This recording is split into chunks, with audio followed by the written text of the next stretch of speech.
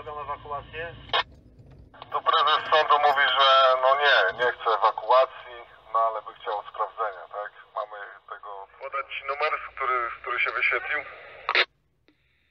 Momencik, zaraz, już momencik, dzwonię. A 5797 na początek? Tak, zgadza się. 78 końcówka.